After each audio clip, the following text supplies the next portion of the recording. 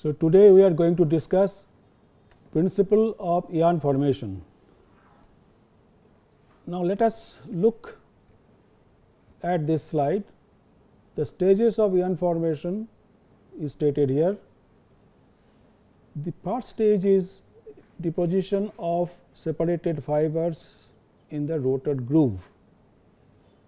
So, we have already discussed that once this sliver is fed there is a opening roller which will separate the fibers and then feed them into the rotor. So, separated fibers are actually landing on the wall of the rotor and from there they move towards the rotor groove. Now, once they are settled there, the next stage will be consolidation of these separated fibers. So, consolidation will see that they are basically due to the centrifugal force which will be acting on the fibers. So, these consolidated fibers are now twisted by the rotor.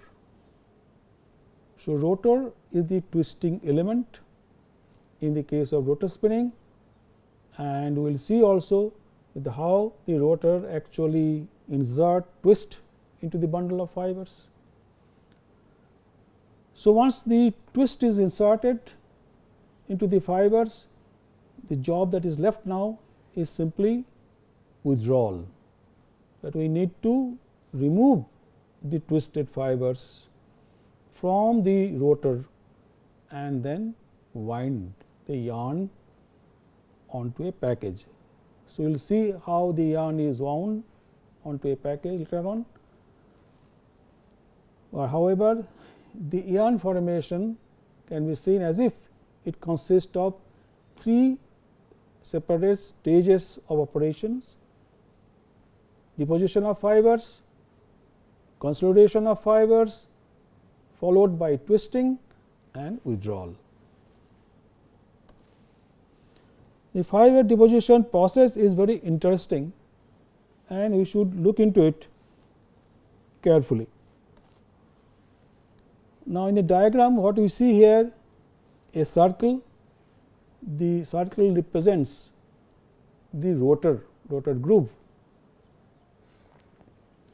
and within the circle represented by the black line very firm black line which is the rotor you see another thin line that is basically indicating the deposited fibers which are there in the rotor groove.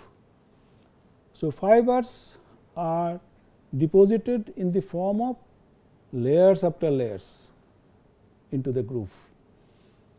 The fiber entry point is shown here. E indicates the fiber entry point in this case.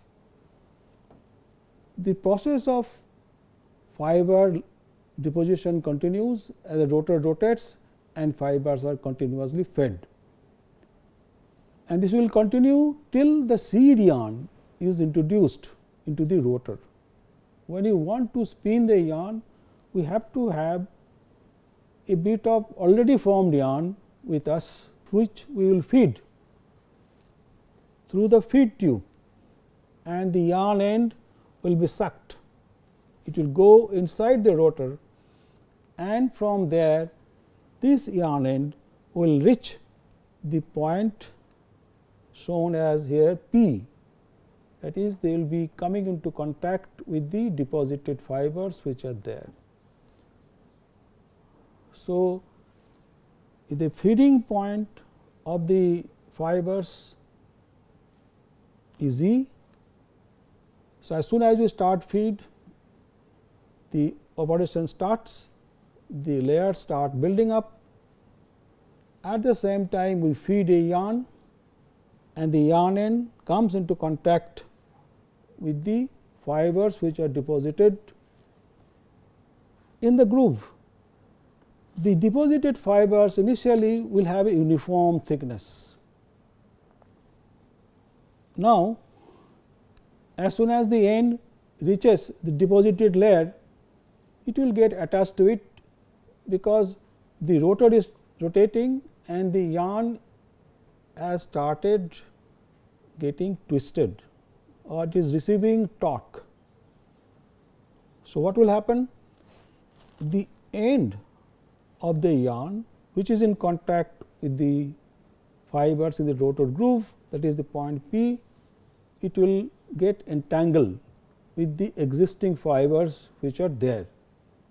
And it will be you can say that the yarn end which we have fed will somehow get tied up with the fibers which are already there. And hence a joint gets built up and now we start pulling the yarn out. That is the stages what happens. Now, let us say that as soon as the we start pulling the yarn out after feeding the seed yarn what happens there are three things happens now. One is the original ring of fibers is progressively peeled off. Fibers are already there because before we feed the seed yarn end we have already started actually feeding the material. That is there is little no time gap between these two. We must feed the fibers first and then only we will feed the seed yarn. So, the seed yarn end must see the fibers existing in the rotor groove. If there is nothing there, the yarn end will not be able to get entangled with the fibers. So, first we feed the fibers and then we feed the yarn end. So, once we start pulling the yarn out, the original fiber ring which is there which will be peeled off gradually. And now onwards more new fiber layers will be deposited simultaneously, because feeding is happening continuously. The new layers start progressively filled up. So, one is the original fiber ring which was existing before we fed the yarn and now onwards a new layers of fibers will start building up. So, there is distinction between these two. One is the original fiber ring which is uniform in thickness. And once the yarn we start pulling the yarn out new layers will start building up. And we will see what is the difference between these two. Stable condition is established when the original fiber ring is completely removed. And we will have a layers of fibers within the rotor, but we will find that the thickness of the layer is not uniform. It will be tapered. Why it will be tapered? That is what we are going to discuss. In the stable conditions, the rate of arrival of fibers will be equal to the rate of withdrawal of the yarn mass, because we are trying to pull the yarn out at the same time I am feeding the fibers from the sliver. So, that has to be a mass balance. So, rate of feeding of fibers and rate of taking out the fibers in the form of yarn must be same. Now, we will analyze this one analysis of fiber deposition process. Look at the diagram on the left hand side first let us uh, concentrate on that. What is written here that P is the yarn formation point. So, this is the point where P is there. At the beginning P is a point on the in the rotor groove and we can say this is the point where fibers are just getting transformed from a parallel array to a twisted bundle. We call it yarn formation point. Then O is the position of the navel. This is the position of the navel. OP is the yarn arm shown by the blue color. Takeoff nozzle is there, we call it actually navel, which is at the center point of the rotor. From there to the uh, groove of the rotor, the yarn that exists we call it yarn arm. So, OP is the yarn arm, A is an reference point on the rotor, E is the fiber entry point because you know that we have already discussed this the separated fibers are fed through a fiber feed duct or a transport channel. So, the transport channel end say is E. L 0 is the first fiber layer which is going to be built up, it is not yet there, it will be there. N is the rotor speed and N A is the yarn arm speed. And what is written here? N A is greater than N. That is the speed of the yarn arm O P is greater than the speed of the rotor and N A minus N that become the relative speed of the arm with respect to rotor. And as soon as the yarn arm OP starts rotating, why does it rotate? Because we pull the yarn out. If we do not pull the yarn out, then the yarn formation point speed and the speed of the rotor will be exactly same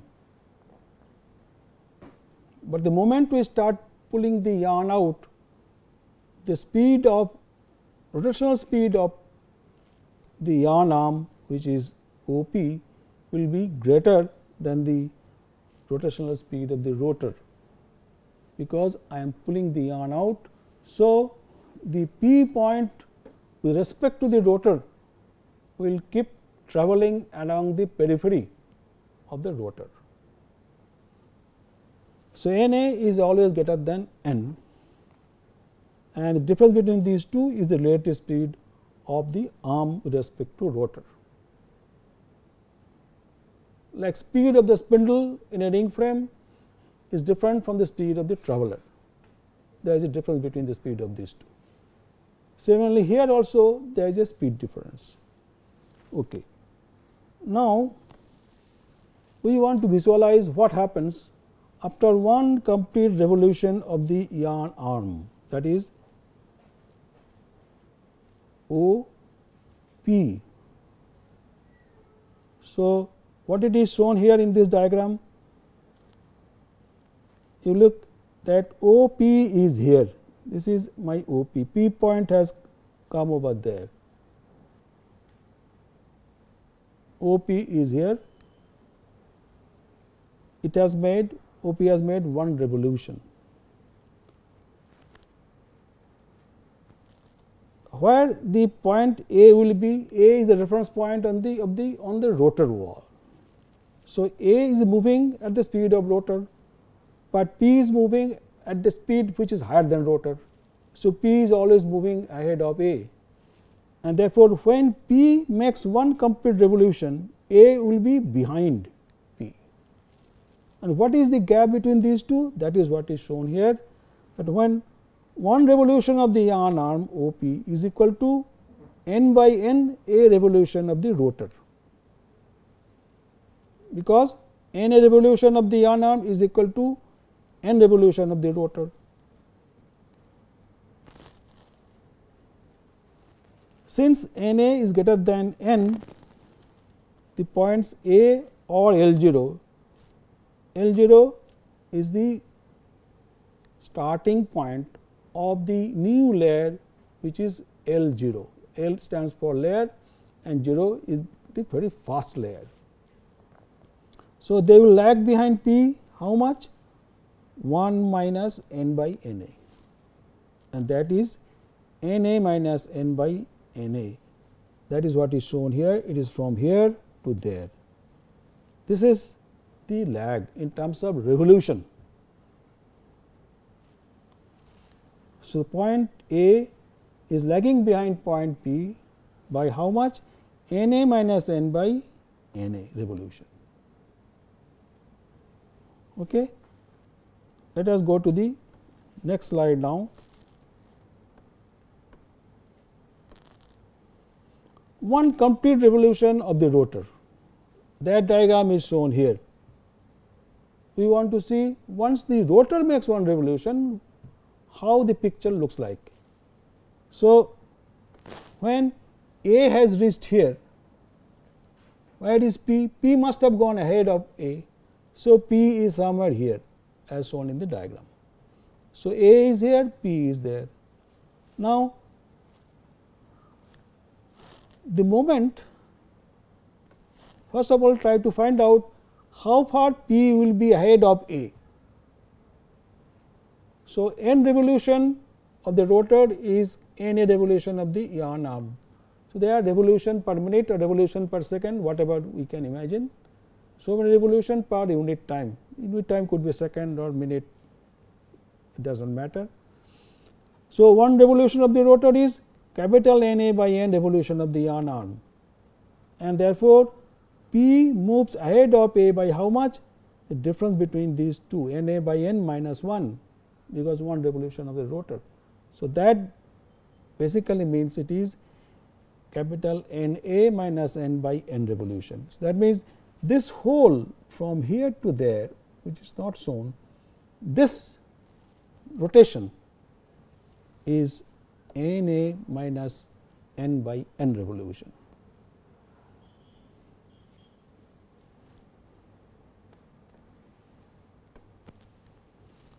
As OP crosses the fiber entry point, the moment it crossed like this is the previous diagram.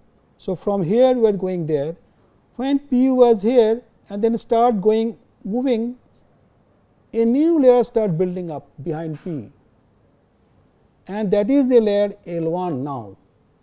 L 0 was the previous layer, now L 1 has started building up, because just behind P you see there is an empty space, there is no fiber there, because all these fibers have been removed or these fibers have been transformed into a yarn and then they have been pulled out. So, the moment P crosses this point that is the fiber entry point E which is here a new layer starts building up that is the layer which is L 1. So, we are showing the layer L 1 by orange color. Now, how far will be L 1 front end from A or A is the point the reference point on the rotor A has made one complete revolution. This will be exactly equal to how far A was behind P when P made one revolution. Therefore, this distance and this distance are exactly same, they will be exactly same, they will not be different from each other. So, we have found out that as OP crosses fiber entry point a new layer L 1 starts building up, the leading end of the new layer L 1 moves by how much? N A minus n by N A. That is this value. What is shown here? So, the gap between P and L 1, now we are interested to know this gap. P and L 1 this gap. This is what we are interested to know. This will be the total is this value from here to there minus this one the total is how much P is ahead of A by this and L 1 is ahead of A is by this value. So, difference between these two will give me the gap between L 1 and P and that is what has been done here. If I do this subtraction we get a figure n a minus n whole square by n a into n. So, that is the gap between P and L 1. So, a small gap is created P and L 1. P is moving forward as P moving forward it is removing the original fiber ring it is removing fibers from the layer L 0 also. Now, is still it is rotating further and further and we will see what happens when it makes two complete revolutions.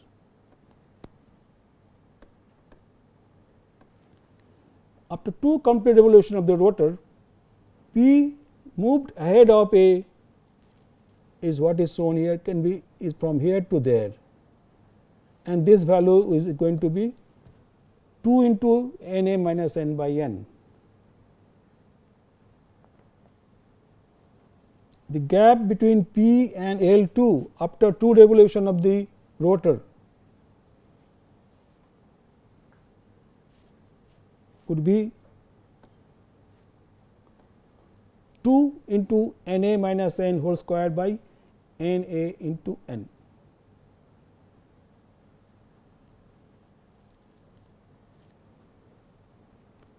See two revolution of the rotor diagram is shown here. This is for the one revolution from here we are going there actually.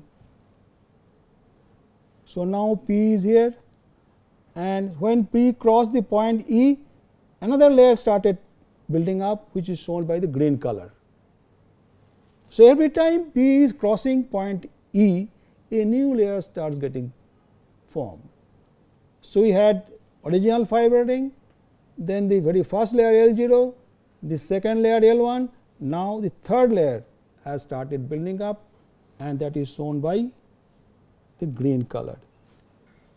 So, the gap between P and L 2 is this.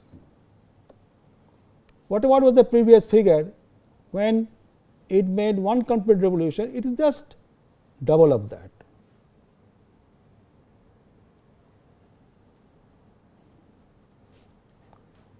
And the distance between the leading ends of successive fiber layers you see from L 0 to L 1, L 1 to L 2 all these distances are n a minus n by n a they will be all constant. So, that means we are building layers after layers, layers are falling on each other, but there is a shift between the ends and how much is the shift? The shift is equivalent to capital N a minus n by n a revolution. That will be the distance between successive layers.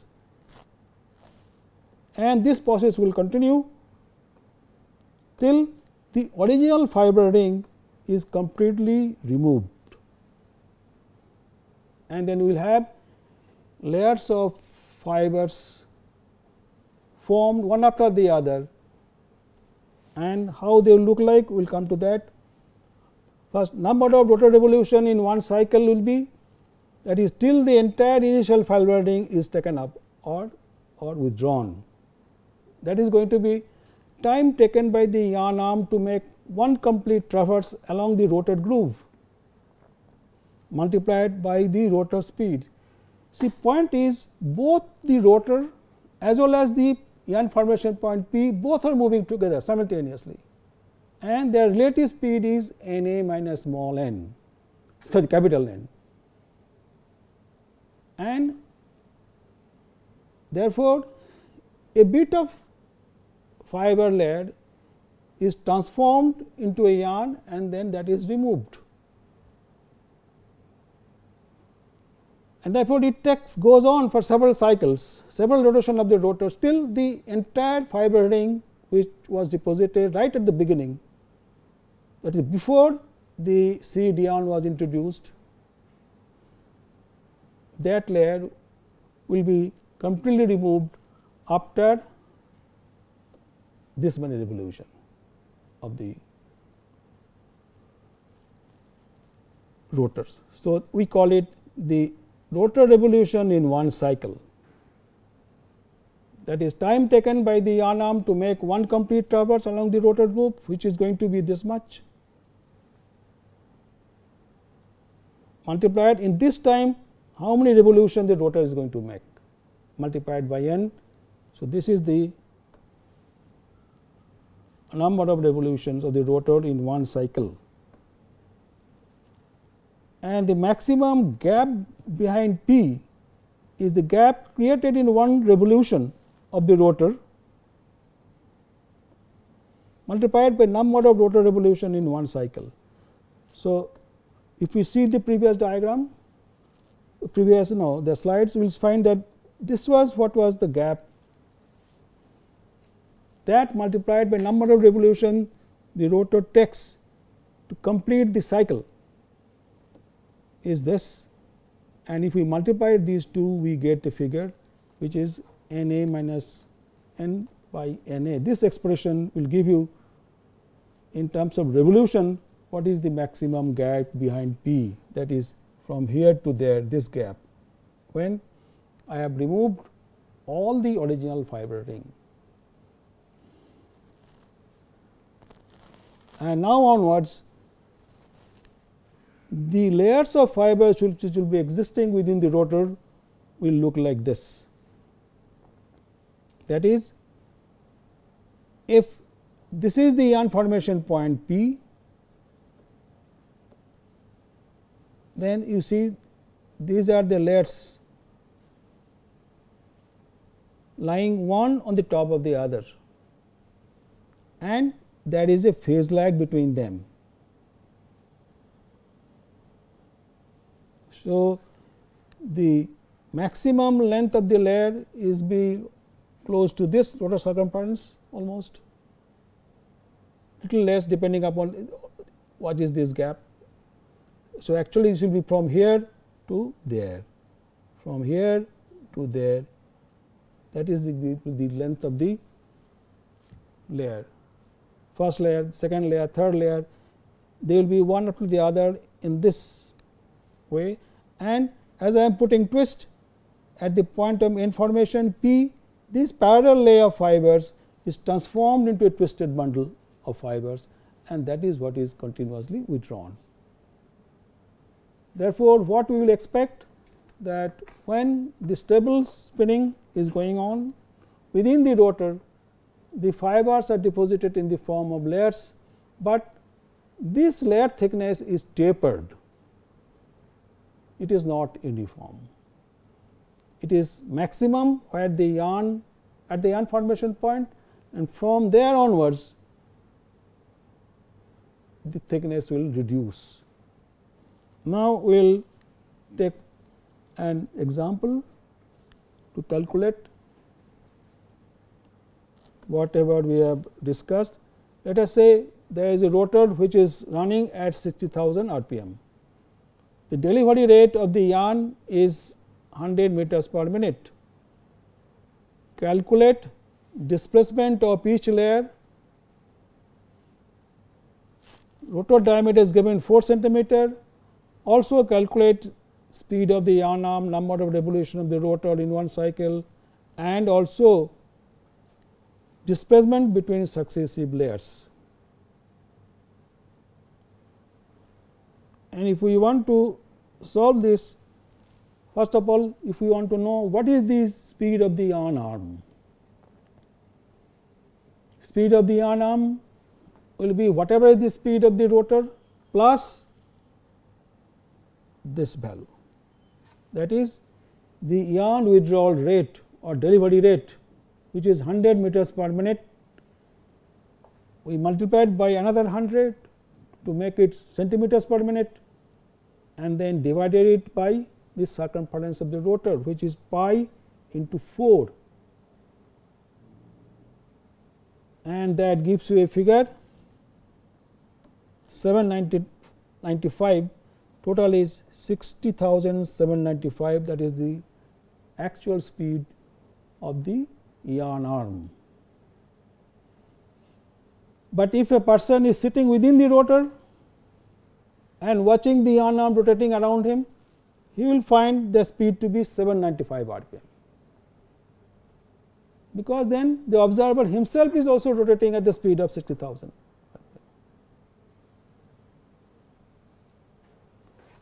But from outside frame, the yarn arm speed is going to be 60,795 revolution per minute. Then number of revolution of the rotor in one cycle, we straightway take this formula and substitute the values. We already know the speed of rotor n, speed of yarn arm. So, you can find out that just 75 revolution of the rotor entire original fiber ring will be removed. So, when the original fiber ring is actually removed, the yarn is not yarn is thicker. So, that part of the yarn is not really very uniform yarn. But in 75 revolution of the rotor, how much yarn you are taking up? We can also calculate that what is the length of that yarn, which is very little and therefore, it is insignificant for all practical purpose. But whenever there is a breakage of the yarn and we start the process, there is going to create, there will be a thick place which will be created. So, every rotor break means as soon as we start the operation again, the we feed the fiber first and then feed the seed yarn and therefore, the seed yarn end joins the fiber ring which is already formed and that ring is of uniform thickness, but that thickness is not equal to the thickness of the yarn that we want to make. It may be more, it may be less depending upon what is the delay time between these two or what is the no, difference. Anyway, so therefore, there is a chance of creation of a fault. So, number of revolution of the rotor in one cycle is 75. Then displacement of each layer also this is the formula. So, again we substitute this is equivalent to 0.013 revolutions and that if we want to know in terms of linear length we multiply it by pi into d rotor diameter and that gives you a figure 1.63 mm. That is each layer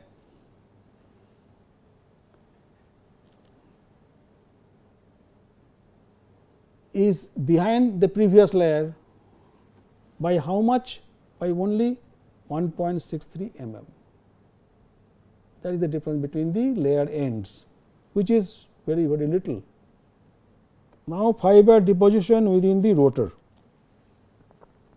See this is the rotor that is shown here, this is the fiber feed tube. So, these are the fibers which are feeding on the feed tube and the fibers are landing directly on the wall of the rotor. So, fibers flowing through the transport channel or feed tube meaning the same land on the inclined rotor wall and then they slip into the rotor groove. because of what? Why do they slip? They slip because of these centrifugal force. One component of the centrifugal force will cause the fibers to move down and therefore, this is the rotor wall has to be inclined otherwise the fibers will not reach the groove easily. Now, when the fibers are released on the rotor wall, there is important conditions that needs to be met. Velocity of rotor wall must be more than the velocity of the incoming fibers. Why?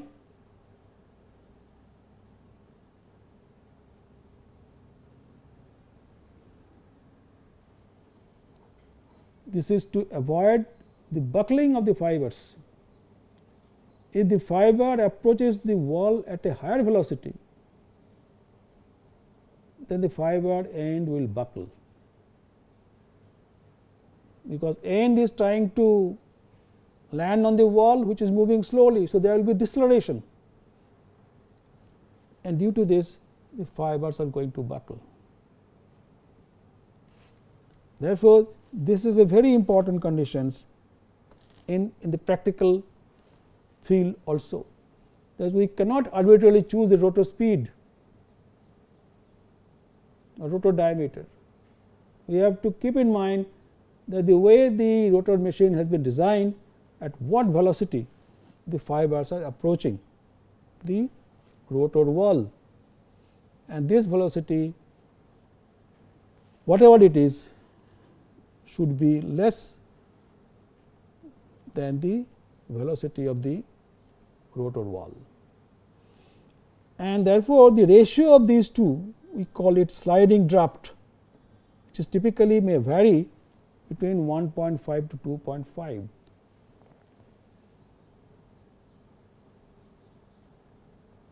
So, velocity of the rotor wall will depend upon the rotational speed of the rotor and the diameter of the rotor. So, we have to therefore, make sure that the rotor runs at a speed, so that the velocity of it is more than the velocity of the approaching fibers.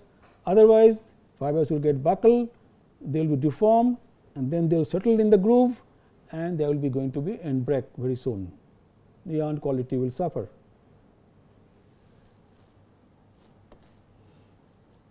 So, there is a lower limit of rotor speed therefore. The air flow within the rotor should not create turbulence. This is also important. The uniform flow depends upon the distance between the feed tube and the rotor wall and the rotor groove. So, all these things are, are important. This distance, distance from here to there, they are all important. Within the rotor because the rotor rotor is no through rotor we are actually sucking air and the rotor itself is also generating air current because it is rotating. So, so the air within the rotor rotates at the same time we are also trying to suck air the whole rotor housing is placed within a negative pressure chamber. Then only through the feed tube the fibers will flow, otherwise how the fibers will move. They can only move if there is a air is sucked, air is made to pass through the feed tube. That means, this whole thing assembly of feed tube, the rotor must be connected to some suction. So, turbulence is a great source of you know, disorientation of fibers in the rotor, in the rotor yarns. So, that aspect needs to be taken care of while designing the entire rotor spin box and also the parameters of the process especially the suction pressure, the speed of the rotor, the angle through which the feed tube is you know is positioned. All of them will matter. Now, analysis of fiber sliding. As I said the fibers are going down because of the centrifugal force and how much is the centrifugal force? We all know basic physics centrifugal force is m r omega square. So, m r omega is how much? 2 pi n r, n r is the speed of the rotor. So, due to this if this is the F centrifugal force then it has two component one is perpendicular and the other is towards the base is f sin alpha is forcing the fibers to go down and down and it will finally reach where it will reach the rotor groove where the diameter is maximum. So, you want the fibers to be deposited in the groove and remain compressed there. Like in ring spinning, the fibers are held by the pressure between the top and front rollers that holds the fibers together and then that is twisted. Here it is the air, it is the centrifugal force which is you know, holding the fibers against the wall of the rotor and then only they are getting then they are getting transformed into a twisted yarn. With respect to the fiber mass F by mg is typically 100,000. So, you can imagine that the kind of pressure which is acting on the fibers very very high centrifugal force will be acting on them. So, we can substitute the values and find it out how much it is. For mu sliding f sin alpha has to be greater than mu cos alpha. So, mu cos alpha is what? Is the frictional resistance to sliding or mu is the coefficient of friction between the rotor wall and the fibers. So, this condition has to be met so that the fibers can go down and this gives you the conditions that tan alpha should be greater than mu. So, the mu value depends upon the type of fiber that we process and the type of finish that has been given to the inner wall of the rotor that decides the value of mu. And tan alpha, the alpha value has to be chosen in such a way that tan of alpha is greater than mu. Or if I know the value of mu, I can find out what should be the value of alpha, that the inclination angle of the inner rotor wall. Now, we come to another concept called back doubling.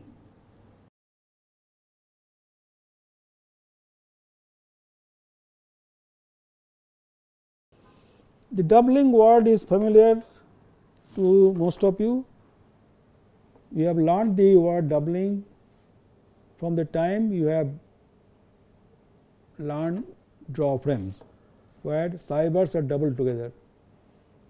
So, several slivers are put together one after the other and we double it call it is a doubling operations and there we do it in order to improve the regularity of the sliver. So, doubling in a way improves regularity. So, doubling is also happening within the rotor because layers after layers are falling on each other and therefore, there is a doubling action also. So, this doubling action in a way will improve the uniformity of the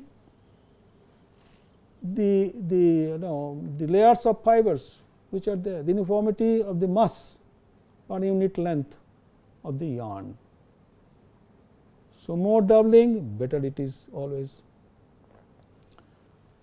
So, since the fibers are fed continuously through the transport channel every revolution of the rotor will create one layer.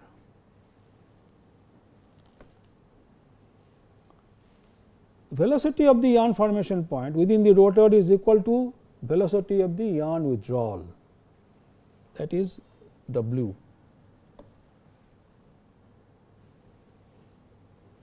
and W from W we will see we can calculate what should be the rotational speed of the yarn formation point. The yarn formation point within the rotor rotates along the periphery of the rotor as the yarn is withdrawn. Time taken by the yarn formation point to cover the rotor circumference is going to be how much pi dr by w okay. so much time it will take. If that is the time it takes, then number of revolution of the rotor in this time t is how much t into nr or nr is the speed of the rotor.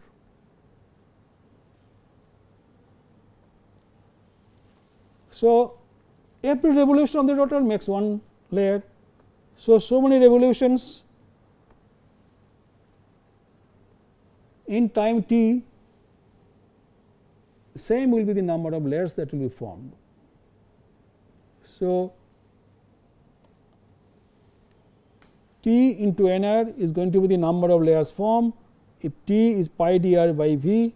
So, it is pi dr into nr by V that is the number of layers and what is nr by V? Nr by nr by V is the twist. nr is the rotational speed of the rotor. Rotor is a twister like spindle in the case of ring spinning.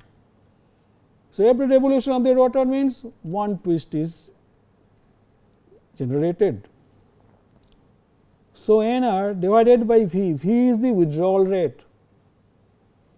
So, this part from this part is actually t. So, pi dr t is the number of layers which which are formed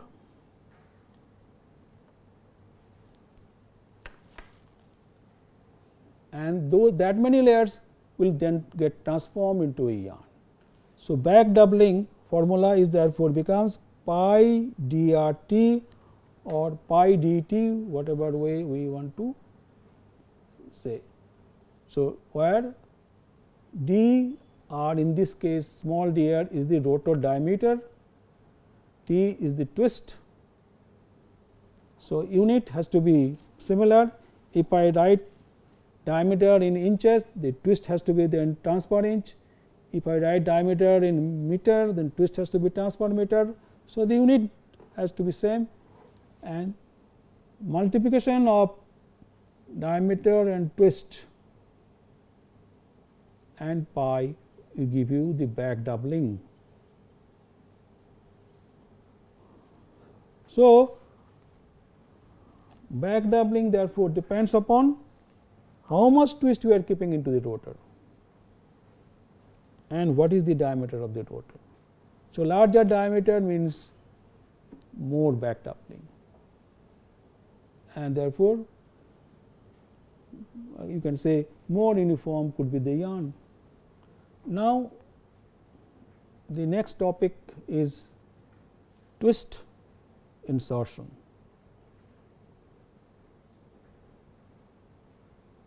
So, one after twisting only the yarn is formed.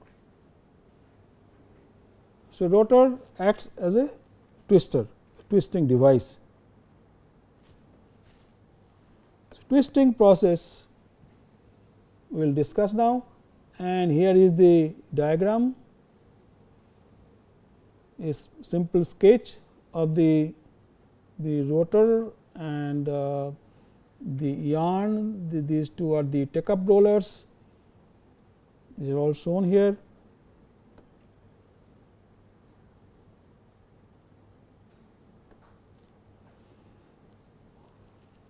now how the how the yarn twist is generated. As rotor rotates the yarn end B is fixed and the arm AP not BP the arm sorry AP turns like a crank. Look at this arm AP this arm AP the P end is turning because P end is attached to the rotor wall and that end is turning around the axis of the rotor.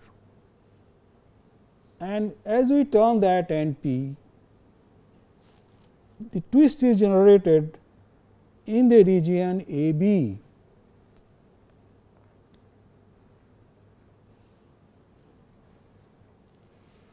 and twist starts accumulating there in the region A B.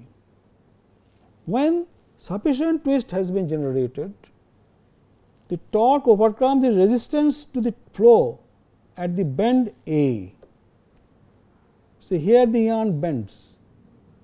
So, there is a curvature and the yarn at the bending point the yarn is contact with a metallic surface so, any contact is a source of frictional resistance to the flow of torque also.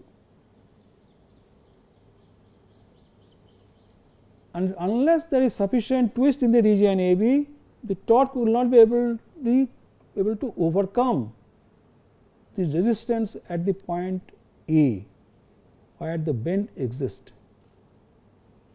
So, when sufficient twist is there, it will now overcome the resistance and then only the twist will flow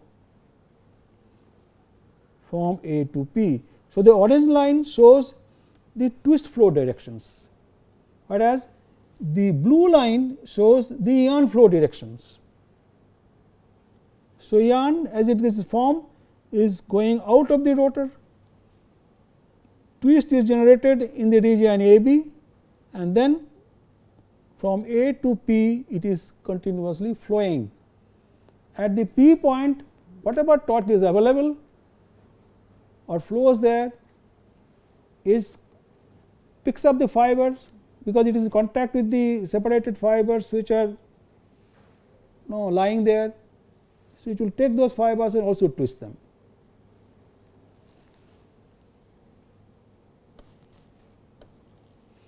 So, twist flow in the region AB, AP region and from there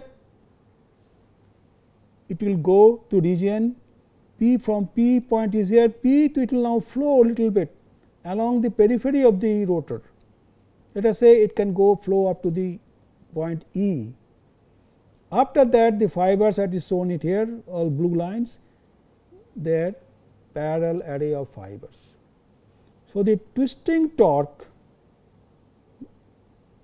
flows from point P to a certain distance along the periphery. Let us say that distance goes up to E, then P to E is a region where the fibers are partially twisted and we call it peripheral twist extent that is PTE peripheral twist extent. So, twist will flow to certain length beyond that it cannot flow because that much torque is not there and we do not need also. So, twist will be gradually less and less inclination angle and ultimately become parallel fibers, because within the groove there is a lot of frictional resistance to the flow of torque, because fibers are pressed with very high centrifugal force. So, the torque has to overcome that also. So, it flows up to a certain distance or not over the entire periphery of the uh, of the of the rotor.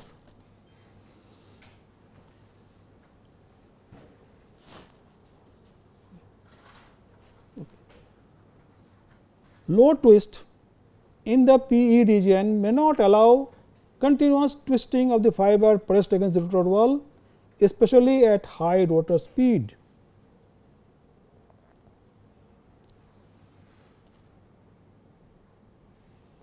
The false twist generated at the navel enhances twist the AP. We will discuss about this part now that is the false twist generation at the point A. We will see the next slides, we will discuss it in more details. So, for the time being if we do not now consider the false twist part. So, what we have learned that every revolution of the yarn arm AP generates one turn of twist. The twist is initially built up and accumulates in the region AB and once the sufficient twist accumulates there, the torque will flow to the point P which it will be able to overcome the resistance at the point A. Because of the, the contact point if there is a bend there is too much of pressure also. So, there is a lot of friction resistance to the twist flow and then from P part of the torque also flows along the periphery of the fibers which are there in the rotor groove. So, torque flow from top to bottom or yarn flow is as is in the diagram from bottom to top. Okay. So, we will stop it here today. We will see that there are other aspects also of twist because twisting is something in the rotor which uh, we try to enhance by some other means. The reason is that we want to basically want to increase the production speed. So, we generate false twist. So, we all know that false twist is something which is false in nature. That means, it will not affect the final twist in the yarn. There is a temporary change in the twist level within the rotor. We will discuss that. Okay. Thank you.